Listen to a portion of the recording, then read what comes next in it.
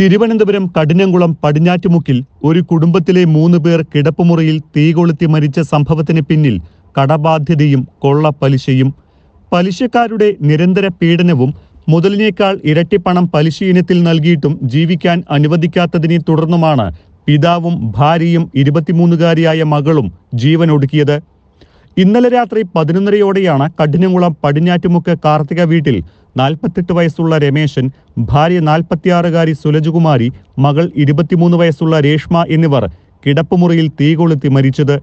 ഗൾഫിലായിരുന്ന രമേശൻ വ്യാഴാഴ്ച രാവിലെയാണ് നാട്ടിലെത്തിയത്. ഭാര്യ സുലജകുമാരിയാണ് ഭർത്താവിനെ എയർപോർട്ടിൽ പോയി കൂട്ടിക്കൊണ്ടുവന്നത്. വന്ന സമയം മുതൽ രമേശൻ വീട്ടിൽ നിന്നും പുറത്തിറങ്ങിയില്ല. ഭാര്യയും മകളുമായുള്ള ചർച്ചയിലായിരുന്നു. വൈകുന്നേരത്തോടെ രമേശന്റെ ഇളയ മകൻ ക്ഷേത്രത്തിൽ ചെണ്ട വായിക്കാൻ പോയി.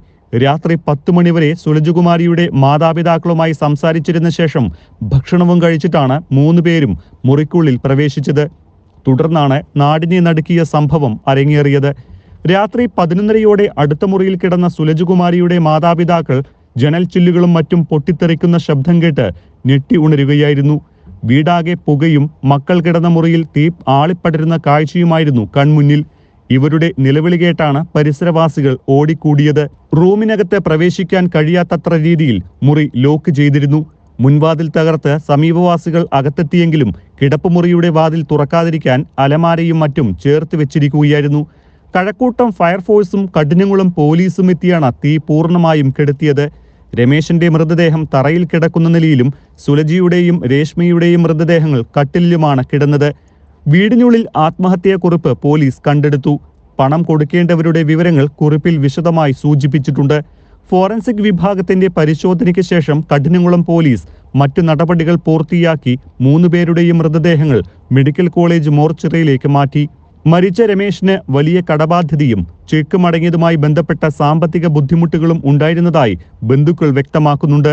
ലോൺ തിരിച്ചടയ്ക്കാത്ത സാഹചര്യത്തിൽ രമേശിന്റെ വീടും പറമ്പും ജപ്തി ചെയ്യുന്ന സാഹചര്യവും ഉണ്ടായിരുന്നു. ലോൺ എടുക്കാനാണ് രമേശൻ വിദേശത്ത് നിന്ന് എത്തിയത്. എന്നാൽ സാമ്പത്തിക ബാധ്യത തീർക്കാൻ വീടും വസ്തുവും വിൽക്കാൻ ശ്രമിച്ചുവെങ്കിലും കേസിൽപ്പെട്ടതിനാൽ വിൽക്കാൻ കഴിഞ്ഞില്ല.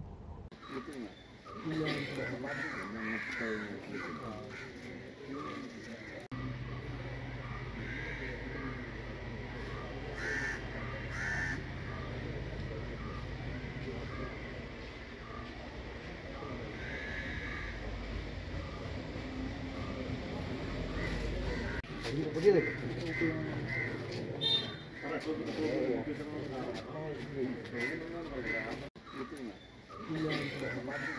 使えないしとか。